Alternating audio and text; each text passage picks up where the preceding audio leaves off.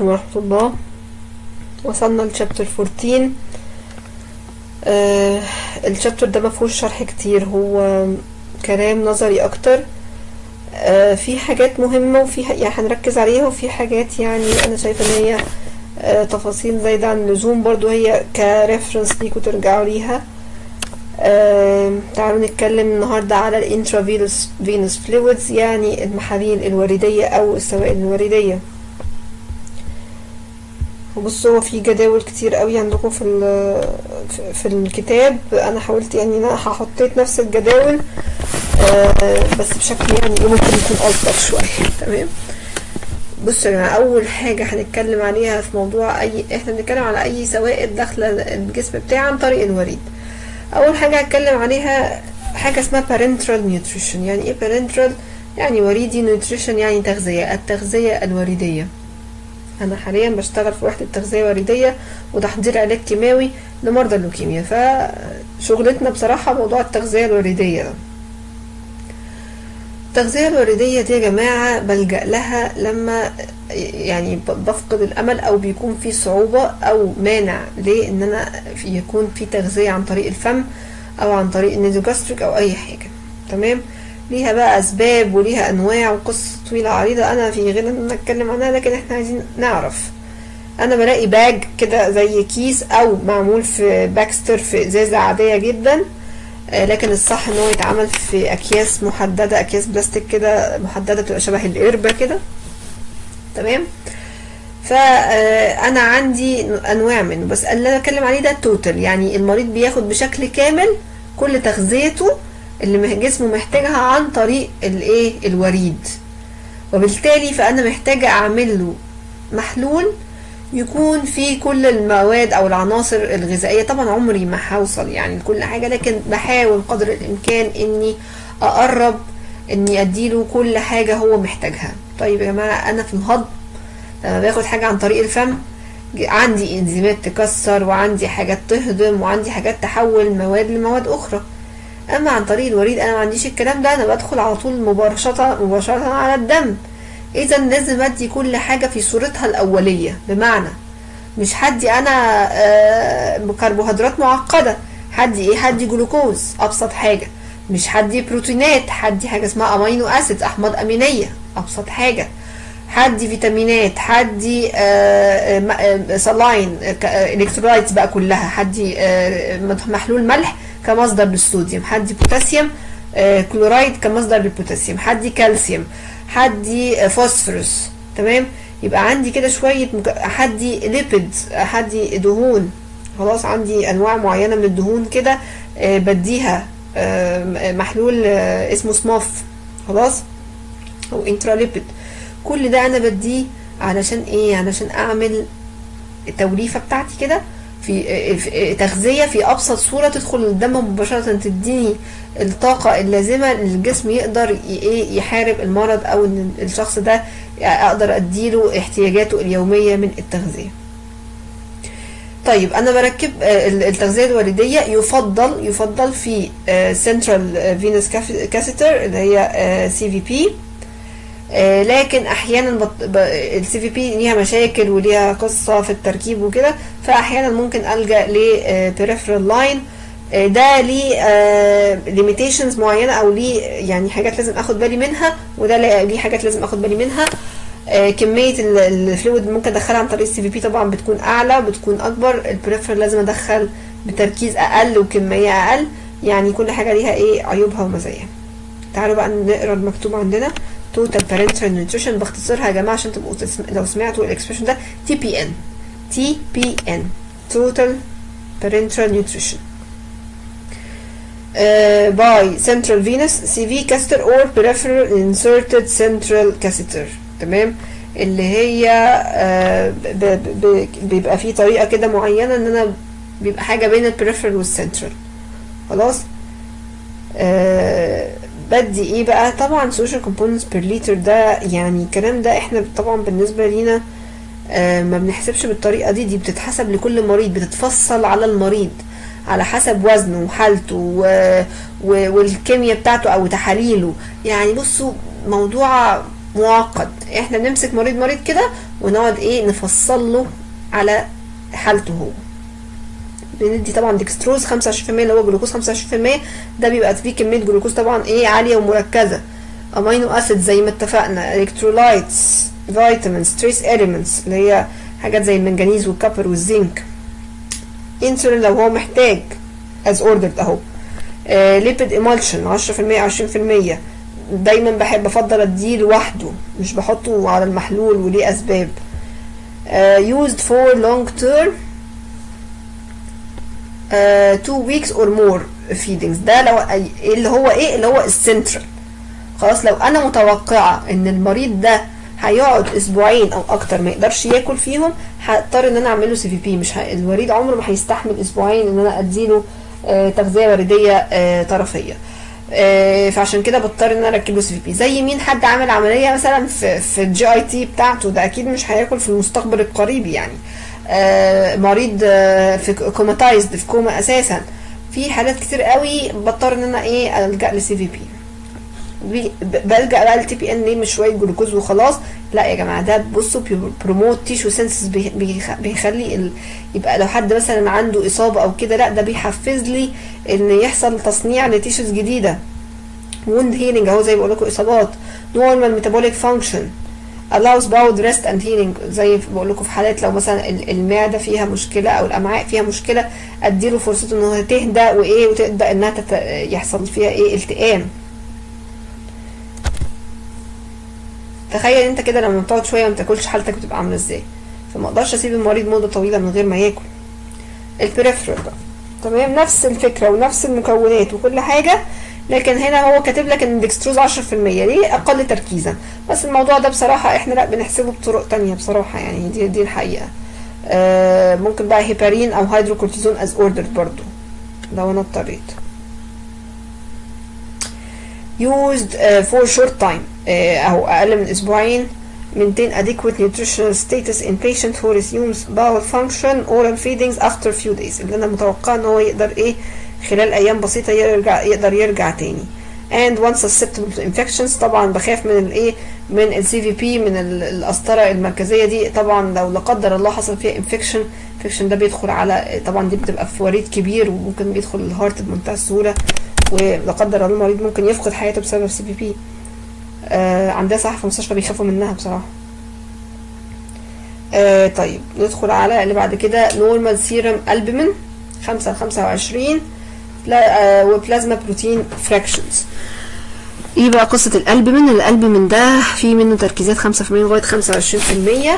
بديه في حالات إيه؟ hypovolemic shock فاكرين hypovolemic shock أو hypoproteinemia كتير قوي بقى بنلاقي في حالات كتير حالات kidney وحالات ren آه حالات renal يعني حالات للكلى حالات للكبد. بلاقي القلب من واقع مني في الأرض. وده طبعا بيعمل لي مشاكل كتير جدا جدا. ف في الحالة دي بدي قلب من أنا من بره ليه بقى side effects كتير؟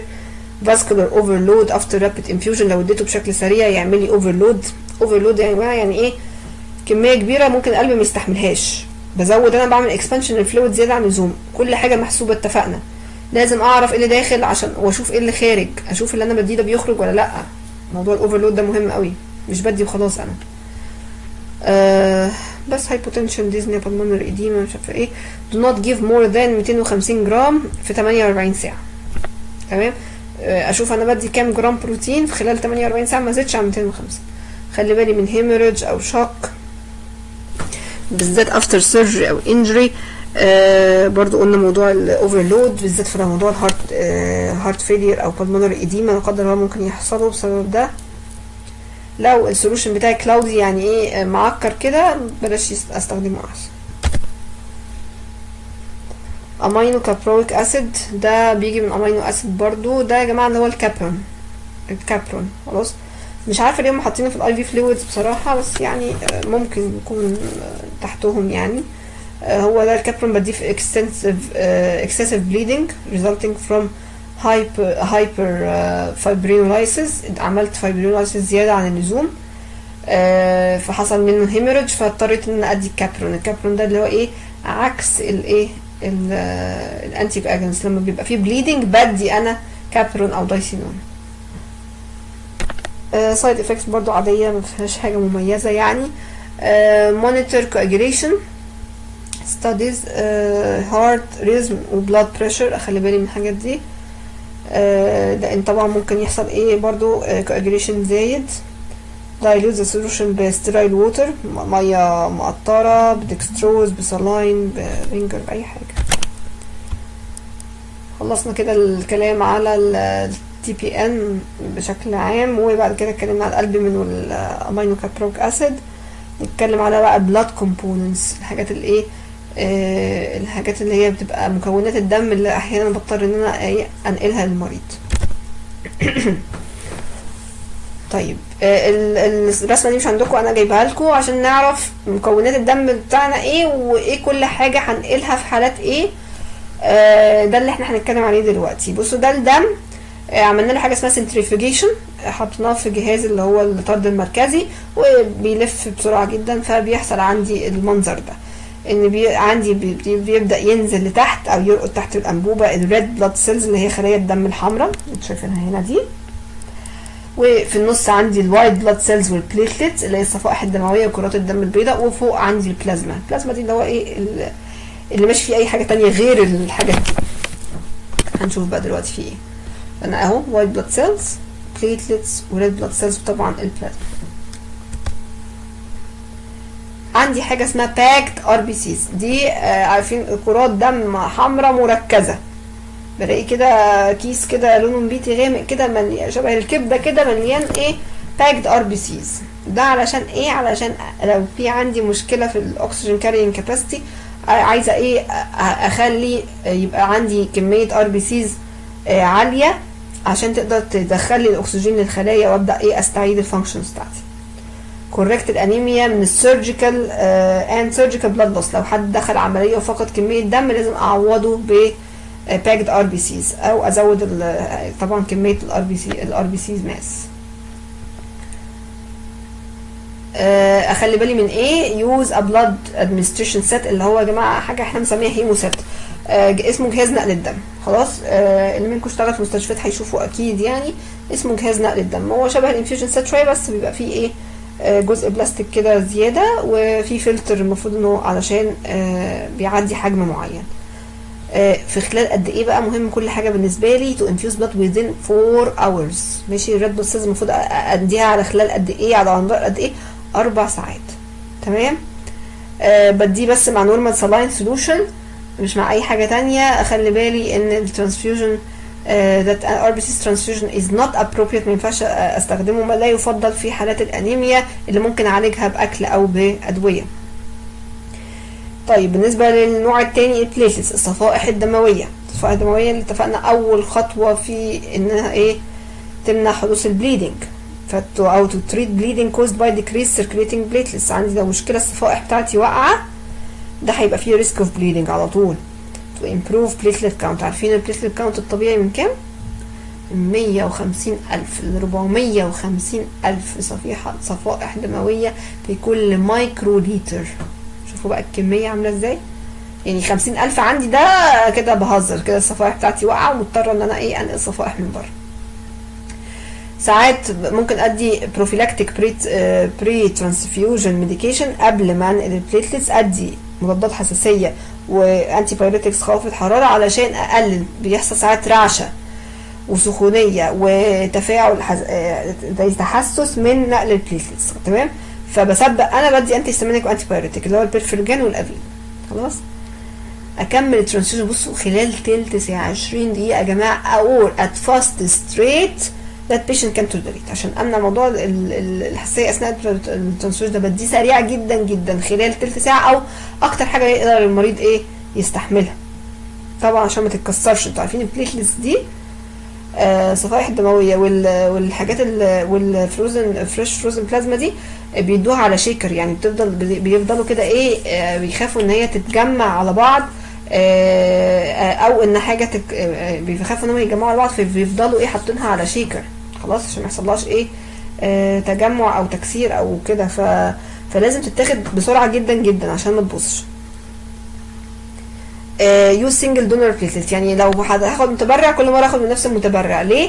ما يحصلش إيه؟ reaction الجسم خلاص بيتعرف على نوع platelet معين. لو اديته نوع تاني يبدأ إن هو إيه آه يعمل رد فعل آه تجاهه يطلع antibodies تجاهه. ما ينفعش إن أنا أديها علشان أعالج autoimmune thrombocytopenia thrombocytopenia يعني platelets قليلة. لو أنا عندي حالة من ال autoimmune يعني هي بت... ال platelets الجسم نفسه بيكسرها.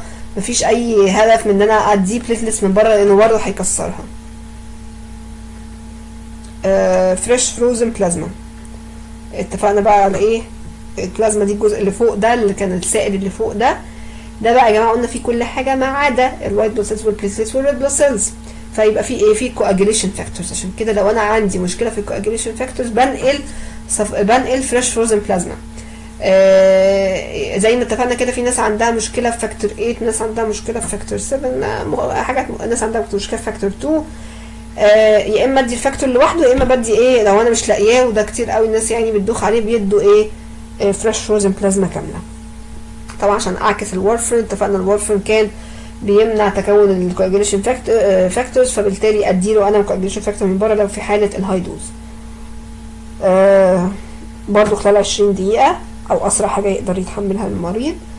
آه أخلي بالي من hypocalcemia عشان أنا بحط فيه citric acid آه فممكن يمسك في الكالسيوم بتاع الجسم ويعمل hypocalcemia تعالوا بقى نبص على ال IV fluids isotonic آه جلوكوز أو دكستروز خمسة في المية في مية. بستخدمه في حالة فقدان سوائل أو dehydration آه اللي هو الجفاف طبعا أو hypernatremia ليه في ال hypernatremia hypernatremia محتاجة أدي سوائل ما فيهاش صوديوم hypernatremia يعني الصوديوم عالي صوديوم عالي. آه لو الصوديوم عالي ما اديش بقى أنا saline ما اديش sodium chloride خلاص أدي إيه؟ جلوكوز خمسة في المية. ده عبارة عن isotonic يعني قلنا نفس تركيز الدم. الدم بتاعي فيه تركيز معين من الأملاح. لو حاجة فيها نفس التركيز تقريبا بسميها isotonic أعلى منه بسميه hypertonic أقل منه بسميه hypotonic خلاص؟ يبقى ايزو يعني شبهه زيه. لما بيدخل الجسم الدكستروز بيتكسر فبيتحول ل hypotonic فعشان كده ما ينفعش استخدمه في ال resuscitation resuscitation اللي هو إيه انعاش وكده القلب في حالات ال shock علشان ممكن يعمل لي hyperglycemia. لكن في نفس الوقت هو مش مفيهوش كمية الجلوكوز اللي تخلي بني آدم يعتمد عليه ك source of nutrition الجلوكوز اللي فيه كل في كل 100 سم فيه 5 جرام بس. خلاص؟ فبالتالي آه ما ينفعش إن أنا أقول إن ده هيدي ال calories اللي محتاجها الجسم في اليوم. وبالتالي ح... لو أنا عملت كده واعتمدت عليه كمصدر nutrition هيكسر الخمسة جرام دول وخلاص وهيستفيد بيهم بس بعد كده هياخد إيه بقى؟ هو مش لاقي مش لاقي الكربوهيدرات اللي هي أسهل حاجة. يقوم الجسم مكسر البروتين. ودي يا جماعة مأساة وعشان كده إحنا بندي ال TPN لازم ندي في ال TPN لازم ندي amino acids مع جلوكوز خلاص؟ لأن أنا لو أنا اديته جلوكوز بس هيكسر الجلوكوز يدخل على البروتين بتاع الجسم ويكسره يعني عارفين يعني إيه البروتين يا جماعة؟ يعني من العضلات من من, من الأعضاء. آخر حاجة الجسم المفروض ما يكسرش بروتينات خالص تمام؟ المفروض إنه يكسر اللي هي الحاجة الايه السهلة اللي هي الجلوكوز. isotonic normal saline المحلول الملح الطبيعي بتاعنا اللي إحنا عارفينه. في حالات ال shock hyponatremia آه يعني الصوديوم بتاعي قليل. أديله طبعا أنا صوديوم على, على هيئة sodium chloride. Blood transfusion في نقل الدم اللي إحنا اتكلمنا عليه من شوية. ال packed RBCs بديهم على normal saline resuscitation انعاش في حالات ال shock. Fluid challenge metabolic alkalosis حالات كتير قوي. بصوا بقى اللي آخر واحدة ال diabetic ketoacidosis فاكرين؟ قلنا ده أول حاجة وأهم حاجة في ال treatment أديله من 3 ل 5 لتر بقعد ادي إيه كميات fluid كتير جدا جدا. Because uh, this replace extracellular fluid caution in patient with heart failure.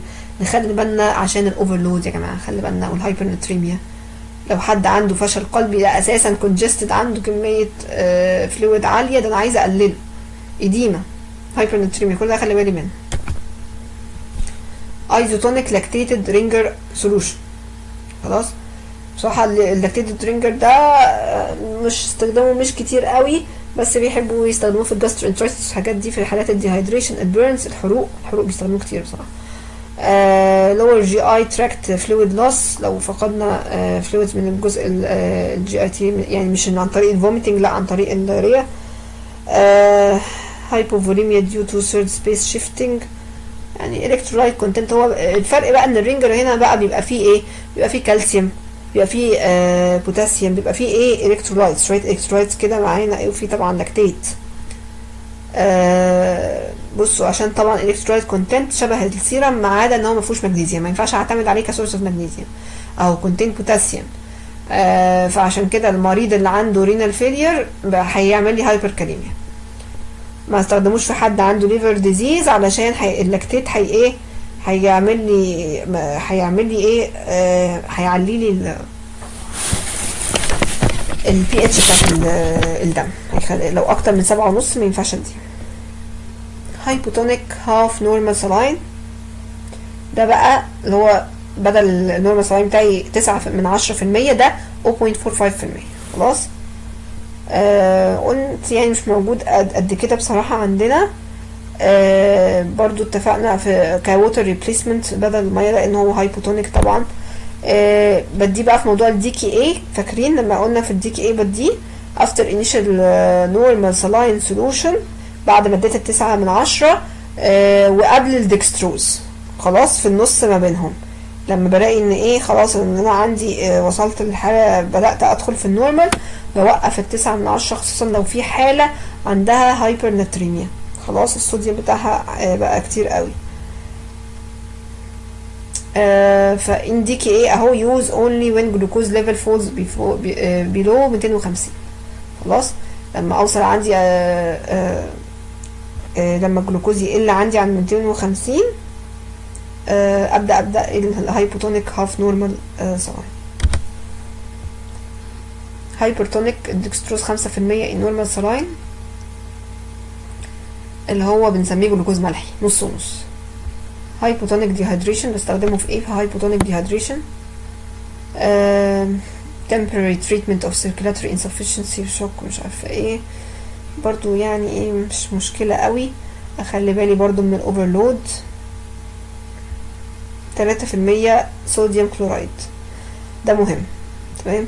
ده hypertonic ده إيه يا جماعة؟ hypertonic ده مركز جدا جدا جدا. دي في حالات معينة. severe severe بصوا في حالات dilutional hyponatremia لو أنا عندي صوديوم آه قليل بسبب إن أنا اديت fluids كتيرة أو ما كانش فيها صوديوم وبقى كمية ال volume بتاعي آه زيادة قوي ولقيت إن الصوديوم نسبته بتقل قوم مدية إيه؟